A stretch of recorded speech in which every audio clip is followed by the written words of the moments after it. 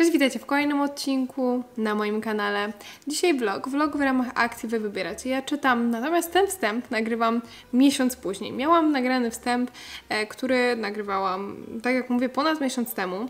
Natomiast stwierdziłam, że jest on tak bardzo jakiś chaotyczny, że nagram go jeszcze raz. I przy okazji powiem Wam, że to nie jest najlepszy vlog, jaki miałam okazję nagrać. Jest, to vlog, w którym widać, że moje myśli zajmowały inne rzeczy, w tym razem była to niestety poprawka, e, poprawka z chemii analitycznej, którą na szczęście zdałam. Jestem już oficjalnie studentką trzeciego roku. Natomiast tak bardzo y, przejmowałam się tym, że nie miałam w ogóle chęci do nagrywania. Więc jeżeli jesteście tutaj nowi, to odsyłam Was do innego vloga, do innego filmu, bo ten nie będzie najlepszym. Dlatego też zdecydowałam się ten film puścić jako taki dodatkowy film w tygodniu, a nie jako taki planowany, bo zdaję sobie sprawę z tego, że chcecie zobaczyć tego vloga, bo to są jednak książki, które Wy wybraliście Mm, no ale tak jak mówię, ja nie jestem w pełni zadowolona z tego materiału. Także w sierpniowej akcji wybraliście mi e, Gentlemana w Moskwie. On wygrał największą ilością głosów, e, a w dogrywce była Duna wraz z... O Jezus, jakie ciężkie.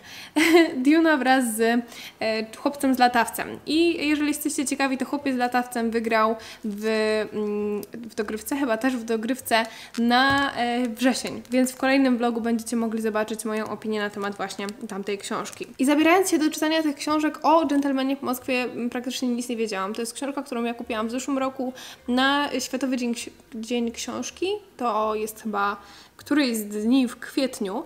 I od tamtego czasu ten gentleman leżał sobie na półce. Gentlemana w Moskwie bardzo polecała Sylwia z kanału My Books My Life, to jest też jej książka do Damatonu e, i e, tę książkę bardzo też lubi Anna z bestsellerek. I nie ukrywam, że ta poprzeczka była bardzo wysoko postawiona. Ja w dalszej części vloga oczywiście mówię o czym jest ta książka, więc teraz się nie będę powtarzała. A jeżeli chodzi o Dune, no to o Dune również słyszałam m.in. od Anny z bestsellerek, czytał ją również Paweł z Per42, Zuza z zaksiążkowanych, e, teraz czyta, czytają dziewczyny z tu czytam, także mnóstwo osób teraz jest zainteresowanych Dune'ą, przede wszystkim ze względu na film, którego bardzo się nie mogę doczekać, bardzo podobał mi się trailer. O Dune wiedziałam tak naprawdę tylko i wyłącznie tyle, że jest to historia mm, pewnej planety, właśnie Dune czy też Arrakis i że jest to historia w przyszłości aż 8000 e, lat w przód e, i wtedy dowiadujemy się mm, o tym, że między innymi, że woda jest tak naprawdę taką bardzo ważną walutą i że ludzie noszą e, kostiumy, które sprawiają, że pot czy też inne wodne rzeczy mogą się przeistoczyć w wodę, która jest potrzebna do życia. Bardzo ciekawa koncepcja. Jest to książka, której na początku bardzo się bałam. Jest to nie dość, że bardzo ciężka książka, to jeszcze książka, która no fabularnie jest bardzo wyjątkowa. Także teraz zapraszam Was na tego vloga.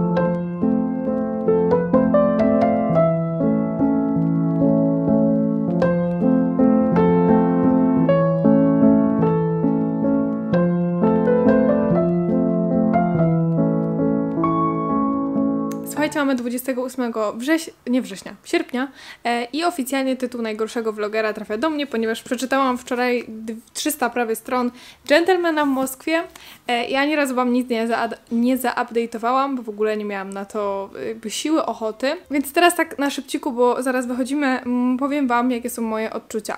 Na początku było świetnie i początek dla mnie to petarda i w ogóle bardzo mi się podobał. E, to jest, to nie do końca jest to, co Wam mówiłam na początku, to znaczy na początku powiedziałam Wam to, co jest z tyłu, czyli że jest to historia pewnego mężczyzny, który przez wiersz, e, przez napisanie pewnego wiersza, który nie jest zgodny z, mm, jakby z, z rządem, e, z tym, co się wyznaje, zostaje skazany na coś formie aresztu domowego. Dalej mieszka w hotelu takim bardzo bogatym, natomiast ze swojego świetnego apartamentu musi się przenieść do, e, no, do jakiegoś takiego gorszego pokoju. E, I tam dalej mieszka, dalej jego życie jest dosyć, no takie, mm, jakby wiecie, no, otoczka jego życia jest dalej trochę taka wystawna. Poznajemy tutaj również mnóstwo kobiet, które gdzieś tam w jego życiu się przewijają, mnóstwo znajomych i w ogóle osób. Natomiast Sama historia jest bardzo powolna. Mm, sam styl narracji też jest bardzo taki statyczny i tutaj nie dzieje się w ogóle dużo. Tak jak w zeszłym miesiącu Wam mówiłam, że była sobie rzeka, gdzie dzieje się dużo, to tutaj to już w ogóle jest inna sprawa. I powiem Wam, że zaczęło mnie to trochę męczyć na poziomie już tych 300 stron, bo zasadniczo nawet nie do końca wiem, do czego zmierza ta historia. Wiem na pewno, że na końcu nie ma fajerwerków, bo to już gdzieś słyszałam w, w momencie, w którym dziewczyny mi opowiadały, e, więc wiem, że jakby ta historia będzie do końca taka bardzo um, lekko prowadzona. Natomiast trochę mnie to zaczyna w tym momencie męczyć e, i postanowiłam, że żeby nie czytać tego na raz, żeby trochę mm, chcieć y, wrócić do tej historii, to na ten mini jednodniowy wyjazd wezmę sobie Dune i po prostu postaram się zacząć właśnie te, mm, tego grubasa, a Gentlemana zostawiam w domu. Ale niestety na razie jest trochę rozczarowująco, przynajmniej na tym, w tym momencie, ale powiem Wam, że to jest też taka trochę książka, która um, między wierszami ma też dużo napisane, trzeba się skupić na każdym zdaniu, bo każde zdanie jest e, wyjątkowe. I jakby tutaj podkreślam to, bo um, styl autora i y, tutaj też muszę pochwalić tłumaczenie, bo mimo, że nie widziałam oryginału, to zdaję sobie sprawę, jak trudnym e, mogło być przełożenie tej historii, bo to jest e, no taka, bo to jest historia współczesna, ale ona jest trochę mm, stworzona w formie takiej powieści klasycznej. Zresztą mamy tutaj Rosję 20, e, na początku XX wieku. W ogóle nie wiem o co chodzi, ale przez ostatnie trzy wy wybieracie, ja czytam, miałam zawsze coś rosyjskiego, bo był Mistrz to była Anna Karenina Zbrodnia i Kara, a teraz jest Gentleman w Moskwie. Więc jakoś tak bardzo bardzo się uparliście na tą Rosję, a ja jednak bardziej lubię wiktoriańską Anglię. Także zobaczymy jak będzie później, zaupdate'uję Wam jak zacznę czytać Dune. Jesteśmy w Lublinie, Adam jest tutaj. Byliśmy w księgarni, e, która pomoże nam w zrobieniu nowego odcinka o ulubionych książkach księgarzy. Mam już książkę, niestety nie było pani właścicielki, więc zapytałam pani sprzedawczyni, e, co jakby równie dobre jest. I co? Zaskoczyła, zaskoczona pani była, powiedziała, że rok pracuje i, i nigdy nikt jej nie zadał takiego pytania.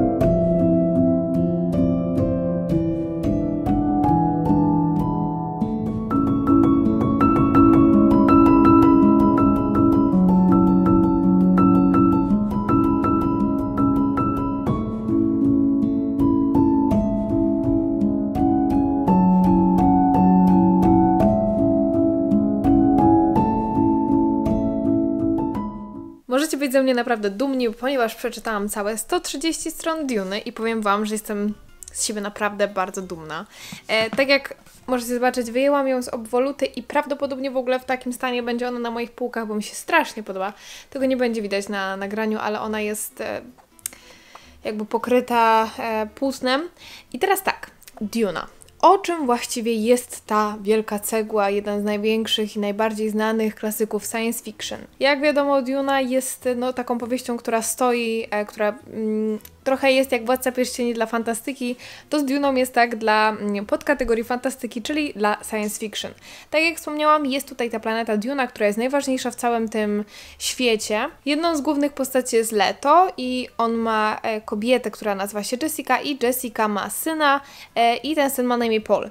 I nie jestem pewna, e, bo póki co to naprawdę mamy taki wstęp, ale wydaje mi się, że ten Paul to będzie taka główna postać dla uniwersum, możliwe, że zaraz się mylę, Natomiast no Paul to jest na razie postać, która najbardziej mi gdzieś tam pasuje. E, I powiem Wam szczerze, że tak, to jest prawda, że tutaj jesteśmy wrzuceni w historię i jest bardzo mało tłumaczenia. E, niektóre rzeczy faktycznie są wytłumaczone i e, no wiadomo, że no nie jest to tak, że, że dostajemy historię bez żadnych dopowiedzeń.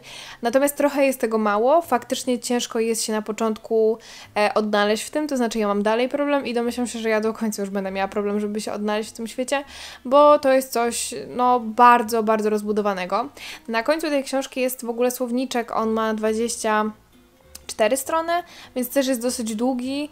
E, no i tam są właśnie wyjaśnione takie główne pojęcia dla tej książki, ponieważ mamy tutaj też e, no, nowe słowa powymyślane właśnie na rzecz tej, e, tej historii. I powiem Wam szczerze, że nie mam żadnych oczekiwań takich większych co do tej książki. Początkowo bałam się bardzo o język, ponieważ to jest książka, która odstrasza wiele osób, które generalnie czytają w science fiction a ja, że science fiction raczej nie czytam, no to trochę mi tak rzuciliście tą Dune.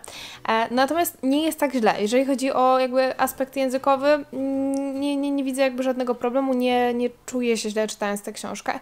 Natomiast no, tak jak mówię, ciężko jest się znaleźć w tej historii i pewnie już do końca tej książki nie będę do końca rozumiała o co chodzi, ale nie przeszkadza mi to w jakimś wielkim stopniu, bo dopóki jakby rozumiem główne e, wydarzenia, to dla mnie jest ok. Myślę, że będzie o wiele lepiej niż się bałam na początku, bo byłam przerażona, powiem Wam szczerze. Jeżeli chodzi o Gentlemana w Moskwie, to od momentu, w którym Wam wcześniej mówiłam, e, nic więcej nie ruszyłam. Trochę tak dłużej pomyślałam na temat tej książki e, i powiem Wam szczerze, że mm, jeżeli ta książka mi się nie będzie podobała tak bardzo, jakbym chciała, to trochę też siebie będę o to obwiniała, bo wydaje mi się, że miałam zbyt duże oczekiwania. E, właśnie przede wszystkim przez to, że tak dużo osób na moje relacje na temat Gentlemana odpowiada, że Wy sobie jakby nie wyobrażacie sobie ogromu tych wiadomości.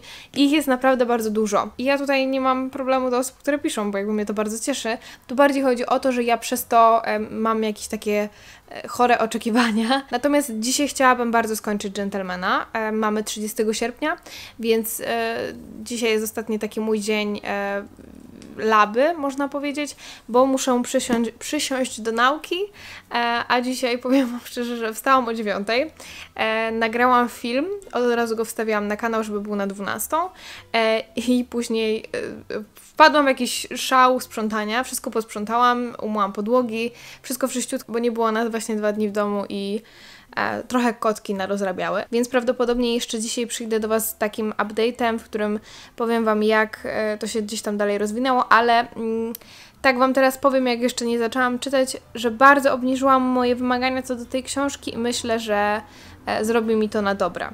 Więc, e, więc jestem bardzo dobrej myśli co do Gentlemana w Moskwie. E, co do Dune też, a, natomiast no jakby zdaję sobie sprawę, że Duna nie do końca mm, będzie książką, która jest w moim klimacie. Ale to też nie jest...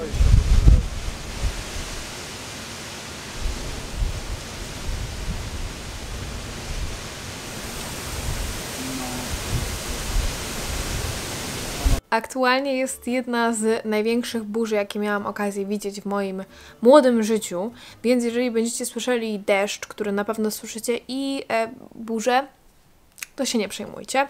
E, dzisiaj dostałam w ogóle trzy SMS z alertu e, CRB, RCB, e, więc jakby byłam przekonana, że, że będzie źle. I słuchajcie, skończyłam czytać Gentlemana w Moskwie, muszę Wam jeszcze w ogóle nagrać przebitkę jak czytam, bo zapomniałam.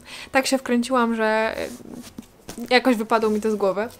Skończyłam Gentlemana w Moskwie, przyniosłam Wam obwolutę, żebyście wiedzieli o czym mówię.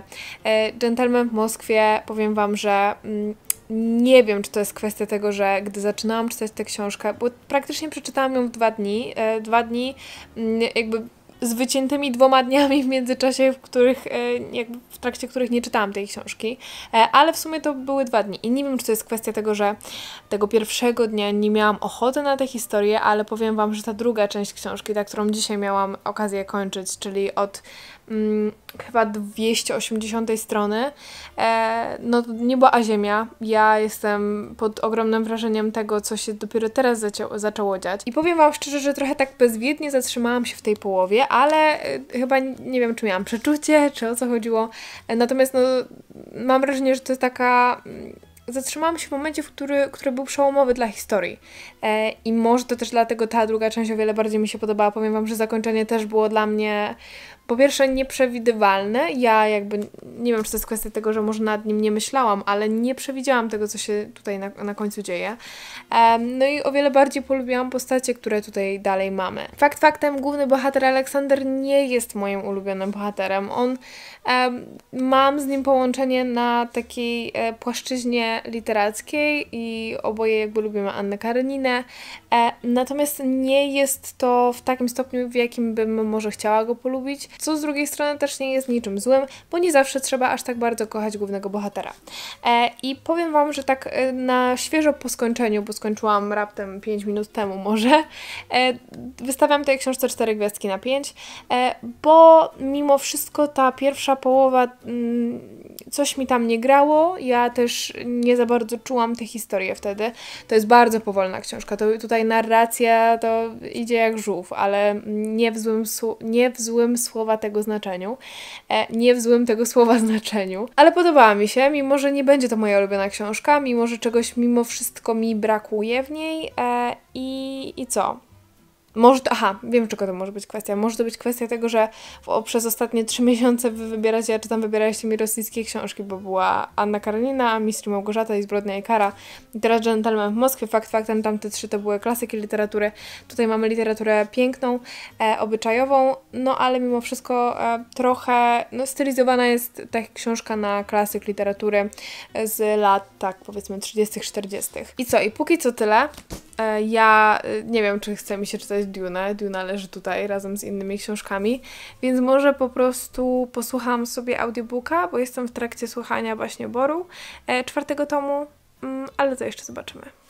Tytuł najgorszej booktuberki trafia do mnie. Mamy 11 września, a ja jeszcze nie skończyłam czytać e, książki, którą wybraliście mi na e, sierpniowe Wy wybieracie, ja czytam. Jest oczywiście Duna.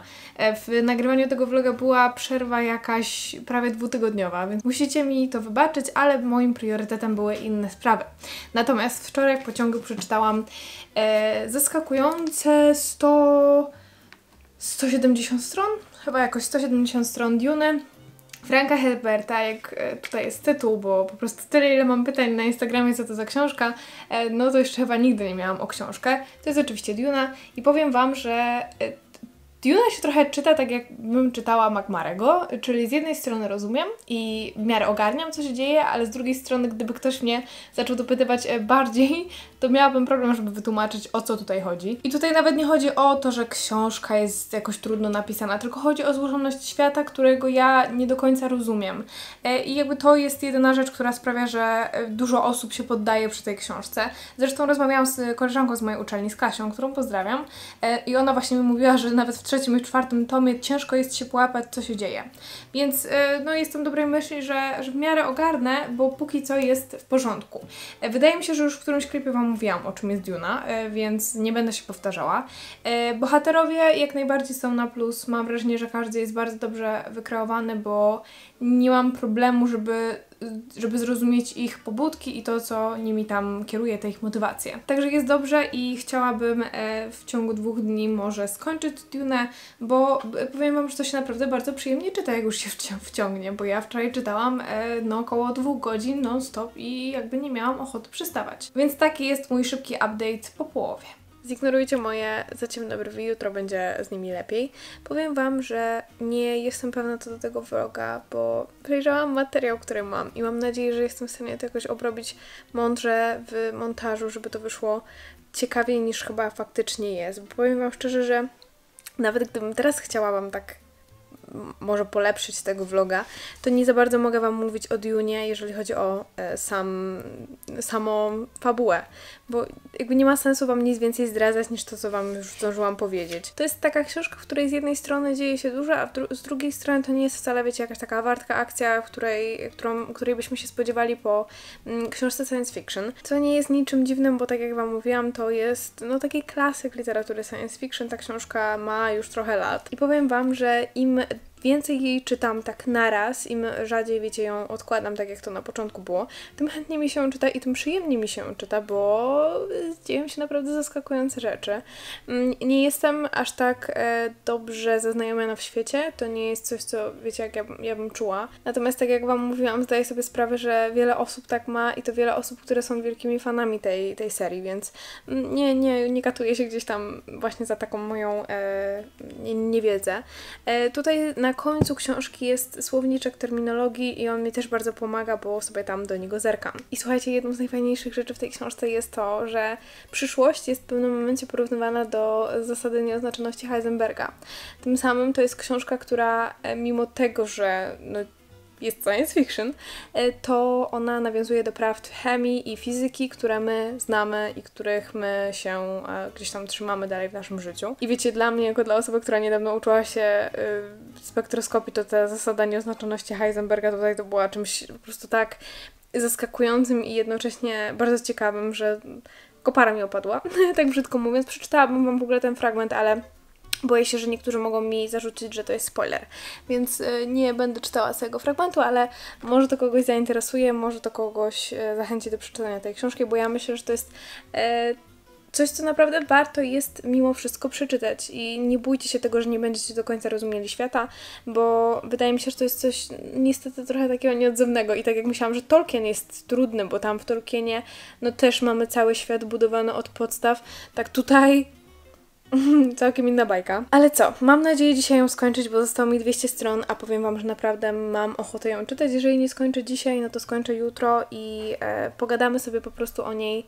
więcej później. Także ja lecę czytać. Słuchajcie, udało się, skończyłam Dune. Niestety nagrywam to kilka dni później, bo e, czekanie na wyniki tak bardzo mnie zmęczyło psychicznie, że nie byłam w stanie nagrywać. Ale teraz, jak już wiem, e, zresztą widzicie, że jestem tak samo ubrana jak na początku, e, no to, to, to stwierdziłam, że wreszcie przydałoby się podsumować tą Dune. I na samym początku powiem Wam, że odsyłam Was do filmu e, The Joanne Stark, czyli e, naszej koleżanki z BookTube'a. Ona tam bardzo, bardzo dobrze mm, mówi o Dune Dune, ona Dune czytała dwukrotnie i tam też Was odsyłam, jeżeli chcecie znać opinię kogoś, kto w ten świat jest bardziej zaangażowany, kto przede wszystkim przeczytał już wszystkie tomy, a nie tak jak ja, dopiero jeden. Powiem Wam, że Duna bardzo mi się podobała. Mimo, że to jest książka, która e, nie stoi w ogóle akcją, to jest książka, w której tak naprawdę o większości rzeczy dowiadujemy się już na początku, a później po prostu patrzymy, jak to się rozwija i jak do tego dochodzi. To jest książka, w której praktycznie w ogóle nie ma zwrotów akcji, to trochę taka historia, która e, jest napisana bardzo przyjemnym językiem, już na wstępie Wam to mówię, nie bójcie się języka. Natomiast niestety to jest taka książka, w której nie wszystko się rozumie. E, I uważam, że to jest taka no, dosyć powszechna opinia na jej temat, bo to jest bardzo rozbudowany świat. To jest świat, którego na pewno się no, nie jest się w stanie ogarnąć w trakcie pierwszego czytania, chyba żeby się robiło notatki. Jeżeli chodzi o zakończenie tej książki, to mm, przyznaję, że jest ono bardzo przyspieszone i gdzieś tak powiedzmy 90 ostatnich stron leci szybciej niż e, wcześniejsze 500.